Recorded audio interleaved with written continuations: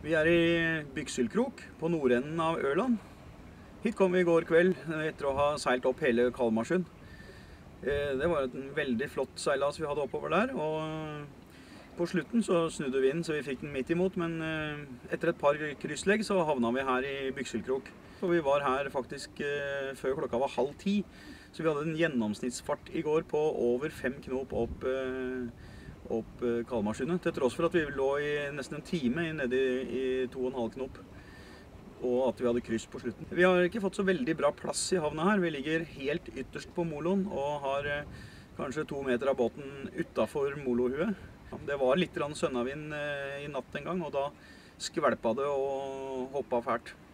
Men vi klarte å sove, for vi hadde en lang dag med masse frisk luft bak oss. Så det gikk fint.